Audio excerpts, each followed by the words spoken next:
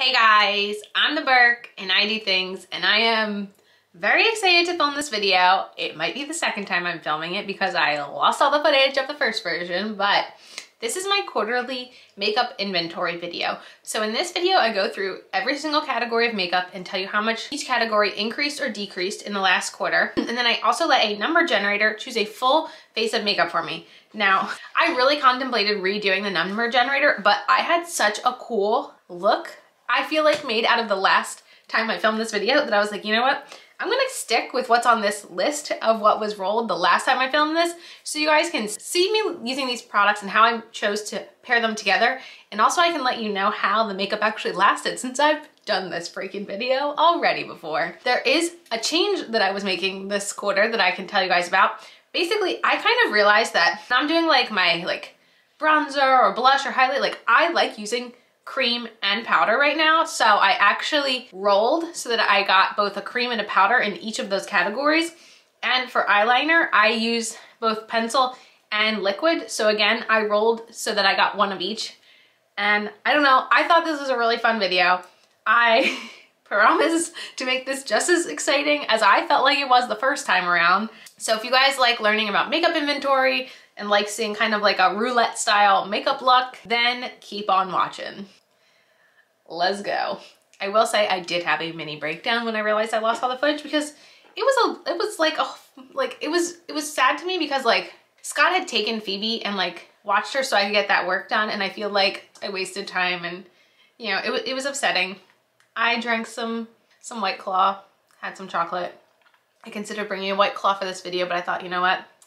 Coffee's probably a better idea right now. So let's get into this. So in my spreadsheet, I have bronzers, blush, highlight, and face palettes.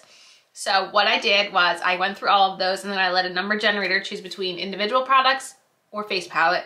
And then based on that is how we decide how I was able to choose the different products. So let me tell you the inventory information first. So for bronzers in the first quarter, I used one up in February, bringing my total to 40 for individual blushes, I got one new one in January, bringing my total to 70 blushes. In the first quarter for highlighters, I had no change, meaning I still have 39.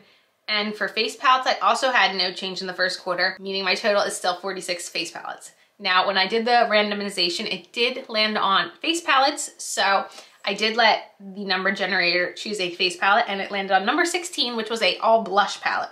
Then for the rest of the face products, I did let the number generator choose. So for bronzers, we landed on number four, which is a cream bronzer, and number 14, which is a powder bronzer. Then I did go back into blushes for a cream blush, so we landed on number 56. For highlights, I landed on number 30, which is a powder highlighter, and number six, which is a cream highlighter. So I have one of each of in those categories, and I'm very excited to show you guys what was picked because some of the stuff I have not used in so long. Except I just used it the last time I filmed. So for eyeshadows, I do have this broken up into every single palette I own and then every individual shadow I own. So the individual shadows include both single shadows and each individual pan in each palette. So for eyeshadow palettes, I did get one new one in March, bringing my total to 63. And for individual shadows, I increased by three in February and 10 in March, bringing my total pans to 804 shadows. Now I let a number generator choose between one, just any random palette, or two, five individual random shadows from my entire collection. It did land on one, so I did randomly generate a palette and it landed on number 38, which is the biggest palette in my collection. Also a palette I've never used because I've been intimidated by how large it is. So you will find out later in this video what palette it is. Then the next category in my makeup is foundations and I did increase by one in February bringing my total to 68 foundations. I do like to disclose though that my inventory does not differentiate between full-size products and mini sample size products. So some numbers may seem higher than they actually are just because I just categorize every individual thing as one item. For eye primers and lash glue, I just have everything together. I didn't have a change in the last quarter. I still have 11 items between those two categories. For concealers, I did use one up in February, so I do have 31. In Oh, I'm realizing I didn't tell you guys what foundation. For foundation, I landed on number 18, which I hadn't used in so long, but it's one of my favorites. Sorry. I didn't choose an eye primer because I barely use eye primer and I'd rather just use my concealer to prime. So like I said, I do have 31 concealers and I landed on number 25, which again is one I really like and I haven't used in so long. That's why I love doing these videos. It kind of gives me like a makeup refresh, I feel like. For setting sprays, I did not make any change this quarter, which is very frustrating because I've been trying so hard to pan one and it's just taking forever. They have 32 in that category and I landed on number six, which is one I want to pan in the year 2022, so hopefully I can. For brow products, I used one up in January and got a new one in March, so I have 52 total. And I did randomize and I landed on first a number 48, which is a brow gel, which is a very interesting one. And then I landed on number 26, which is a brow pencil, so I will be using those two products together today. For eyeliners, I had no change in the last quarter, so I still have 51 in my collection. And the number generator landed on number five, which is a liquid. And then it landed on number 27, which is like a retractable pencil. So I'll be using those two eyeliners in today's makeup look. For powder, I had no change last quarter, so I still do have 32 in my collection, and I landed on number 24, which is again, is actually something I'm trying to finish up in the year 2022. For primers, I finished one up in February and one one up in March, bringing my total to 39 primers. And I landed on number 12, which is, it's a strange one. Now for lip products, I will go through all four categories, lipsticks, liquid lipsticks, lip glosses, and lip liners, and then I let the number generator choose between one and four. So for lipsticks, I did get one new one in February, bringing my total to 77. Liquid lipsticks, I used one up in February, super exciting, bringing my total to 84. Lip glosses, I had no change so far this year, keeping my total at 90. And lip liners, I had no change, keeping my total at 30. So I did choose between one and four. It landed on number three, so it did randomly choose a lip gloss and it chose number 11, which could not tell you the last time I reached for this lip gloss prior to filming. okay, then for mascara, I did use up three in January, got a new one in February, bring my total to 27. So I actually landed on number 27, which is more of like a top coat product. So I actually rolled for a second option and I landed on number 19, which is a brand new mascara that I have never tried before. So now I've obviously tried it, but I can actually give you some like first impression thoughts now that I've actually worn it a few times over the past week or so. So this is kind of a weirder way of doing it. I don't know if this like ruined the concept. I just, I knew I still had everything written down on this piece of paper and I guess if it had been a makeup look that like absolutely made me miserable, I wouldn't be doing it again. But I was like so into the way this makeup turned out and it is not a makeup look I ever would have like thought to pair together. So it was just so fun and I didn't want to like lose this look because I lost the footage. So I hope you guys still like this. I promise next quarter we will have the authenticity of the randomization. I'm gonna go re-grab all this makeup and we're gonna do a full face of makeup randomly chosen by Google, essentially.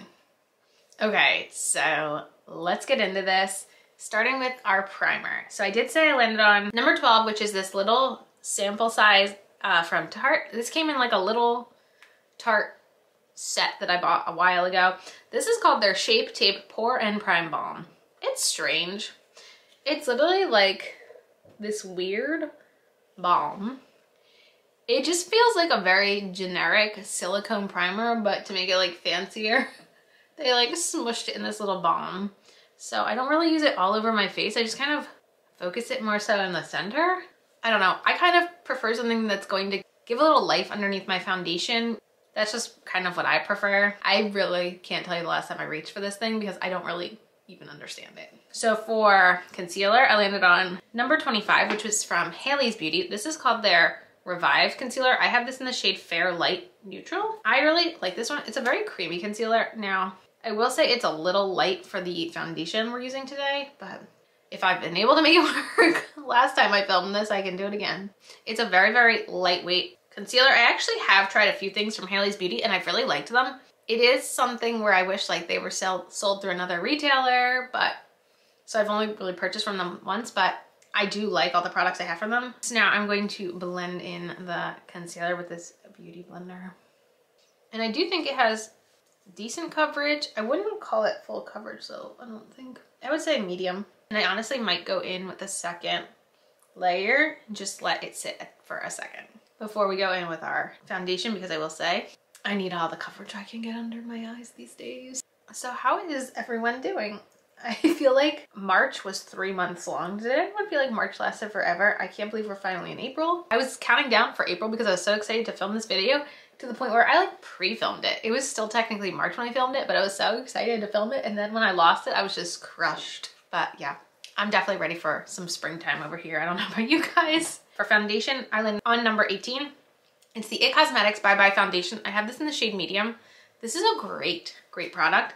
I will be using it with my sponge though, because the coverage is a little, it's a thicker consistency. So I prefer something that's going to maybe absorb a little bit of the product. So it's not necessarily super cakey on my skin, but I do think it's a really, really pretty looking finish. Did I say this isn't the shade medium? So I'm gonna go over the concealed area just a tiny bit just to kind of mesh the shades together. I'm a big fan of the finish on this product and I haven't used it in so long. So I'm really glad that I kind of rolled it into this project to remind me of my fondness for it.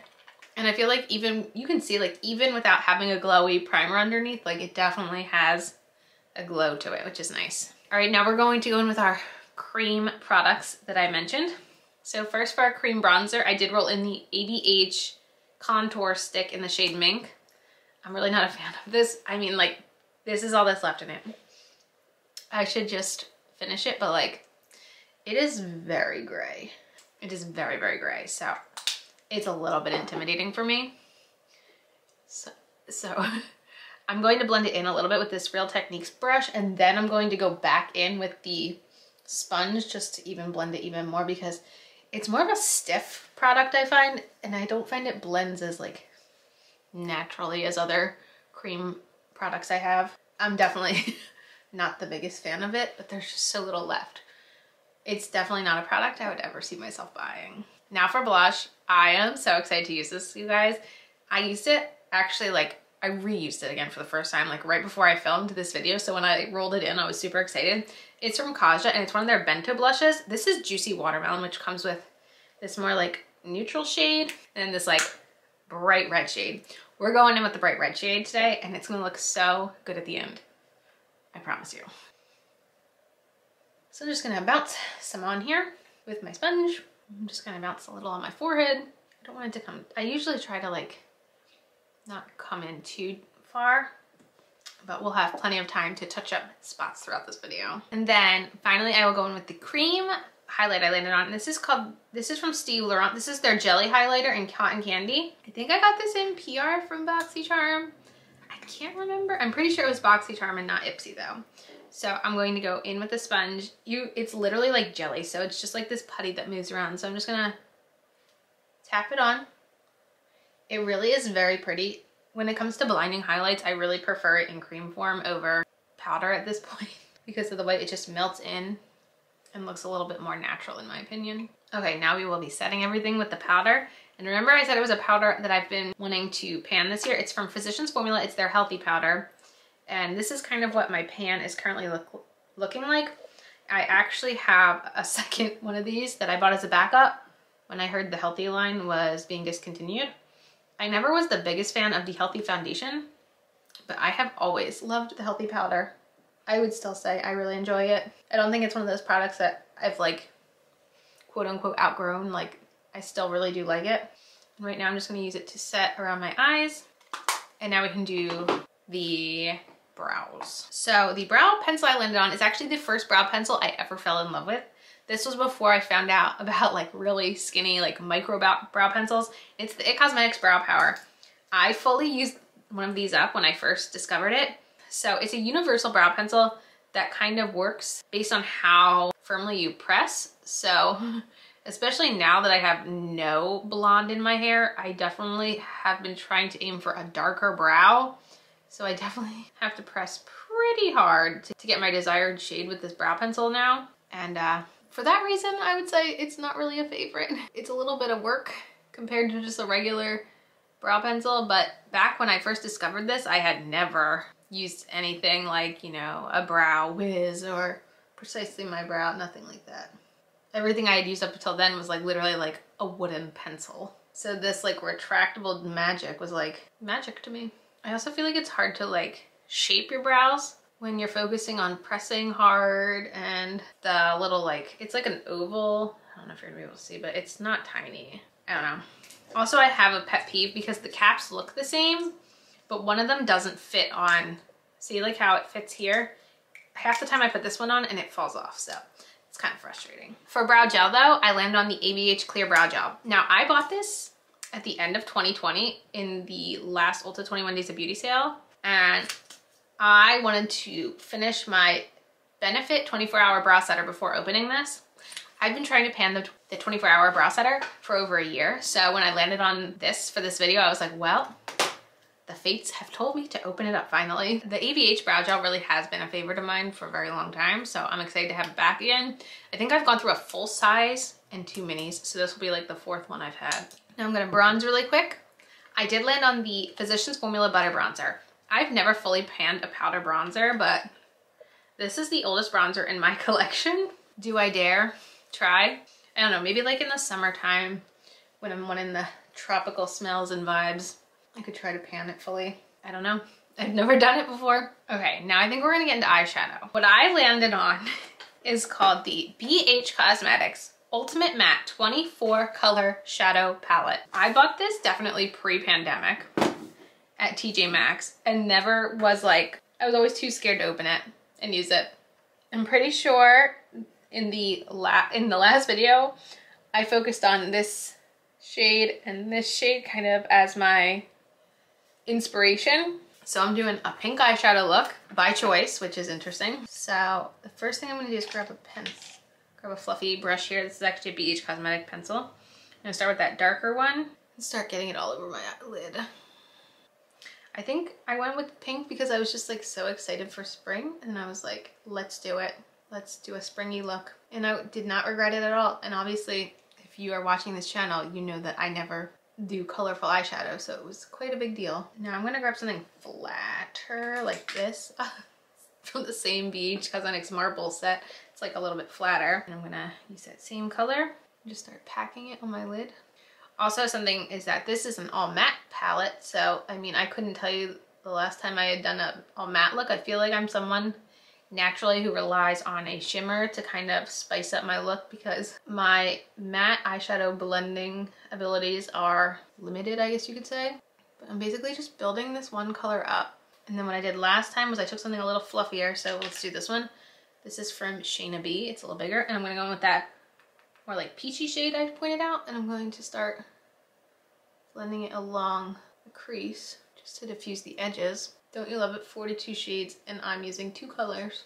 But I feel like I get an exemption for doing pink, so. Then I'm gonna go back in with the packer brush and just pack a little bit more. And then again with the peach, once more. Then I'm tempted to go in something, I don't, I don't think I did this last time. This is actually another BH Cosmetics from their Pro line. And this one doesn't have anything on it. I'm just gonna blend the edges to make them crisp. Well, is it crisp or just diffused? Diffused. And now I'm gonna go in with the two liners that I drew. So for the retractable liner, I landed on this one from Wet n Wild. This is called their Mega Last retractable liner, and this is the shade Blackest Black. This one is actually pretty creamy. I don't mind it. I don't even remember where I got this. I think I maybe got it one year when I was doing some sort of Halloween makeup. I can't really remember. Now this next product, this liquid liner, I actually am going to declutter it after using it in this video here because it just, it worked in the last video. However, I just want to like do a little bit more here. However, I will say that the dry down of it kind of dried to a very diluted gray, I almost want to say. It did not look black. I'm not sure if it's, it must be because it's so old. It's from Mirabella and it's called their Magic Marker Eyeliner. It's like a very, very large felt tip. Couldn't even tell you where I got it from. But it's not easy to work with. It wasn't even looking black. I mean, it lasted. I will say the liner lasted all day when I wore it last, but at that point, like, so does my Physicians Formula, so I don't really need it. This is very hard to use. I need to get really close to my mirror. I definitely went too far in. I hate going too far in. That's really upsetting. You guys, Phoebe's done it. She has We Don't Talk About Bruno stuck in my head. Eyeshadow's looking scary. Camera's overheating. I'll be right back. I am not feeling this liner. I am just it's not looking good and I'm not enjoying it. So I'm just gonna go to my powder blush. If you remember, I said I landed on a blush palette and I was very excited because I had recently watched someone's video and they were using this palette and I was like, when was the last time I reached for that? It's from Alamar Cosmetics. This is their Colorete Blush Trio. I have this in the Fair Light and I'm going to be mixing these two shades. We're gonna get real glowy because this is a very glowy blush palette along with a gl very glowy uh, powder highlighter, which I actually landed on a highlighter that was kind of featured in a recent video I posted. Now I definitely went too hardcore with the powder blush. So what I'm gonna do is I'm going to go back in with my Physicians Formula powder and kind of diffuse the edges a bit because I don't want it being too harsh. So if you saw the vid, one of my most recent chatty get ready with me, so I was using products that were favorites from Marches of like the past. And one of them was the Milani Cosmetics Afterglow highlighter. So I'm gonna go in very gently with this one because it is very glowy. And then I'll probably tap my blush brush over it just a bit. And then I'm gonna go in with my setting spray. Like I said, this was one I wanted to, that I do want to finish up this year. It's from e.l.f. and it's their Hydrating Coconut Mist. There's really not much left in this bottle. I wouldn't so much call this like a setting spray or anything, but it definitely does like hydrate. I feel like my face looks very hydrated, but not like it's going to like melt off. It does smell delicious though. It is a very, very good smelling spray. Now let's talk about mascara. I had mentioned that I landed on like a top coat, which is the Huda Beauty Waterproof Mascara, which is fantastic because the brand new mascara I landed on is from Lily Lashes. It's their Triple X Mascara. This looks really good on the lashes, but it smudges way too much. So I need the Huda Beauty top coat. So this combination is actually pretty good. My only thing is the Lily Lashes is one of these really big fluffy brushes and I just feel like I make such a mess with these kind of brushes. I get mascara all over my lids. I feel like I get myself poked in the eye a lot. So I definitely have to be careful with this wand. I have to not just like speed through it or else I'm in trouble. Because I mean, just with like two coats and no coats, I feel like this one looks great. But like I said, it's going to smudge if I don't put this top coat on. So I've been using the absolute crap out of this Huda Beauty top coat because right now so many of my open mascaras are just like smudgerific. okay, so eyes are done. Like I said, I did land on a lip gloss and I can't remember if I got this in an Ipsy or a BoxyCharm. I want to lean towards BoxyCharm, but I can't remember. It's from the brand Laritzy. This is their lip gloss in the shade Vibe. I didn't know how this was going to go, but actually I enjoyed it. So it's kind of just like a pigmented nude gloss. It smells so good. It has like a very faint chocolatey scent. It's pretty thick, so it actually feels pretty nourishing. And what I wound up doing the last time I did this look was I actually topped everything off with this blush from Kaja. And I felt like this blush tied in really well with the eyeshadow which was one of the reasons I had chosen this eyeshadow scheme, I guess, out of the palette to begin with because I felt like it went well with this blush. I'm just going to kind of, again, diffuse the edges. But yeah, there you have it. I promise this was a random face of makeup and I didn't just choose everything myself. But I really hope you enjoyed this, even though it was not the traditional makeup roulette video. This is, I promise, what it looked like. I actually posted a vlog and had footage from right after I filmed and it will look like this. The eyeliner looks a little better in that video to be completely honest. But yeah, I'd love to know what you guys think in the comments about this look and the products mixed together. I definitely would have never paired all of this thing, all these products together. Like I said, I've never even reached into this eyeshadow palette because I've been so intimidated by it being 42 shades. So yeah. And yeah, that is it for this video. As usual, thanks for stopping by my channel. If you're new here, click the subscribe button and ring that bell for notifications. I have my Twitter and my Instagram down below. Give them a follow, and I'll see you in the next video. Bye, guys!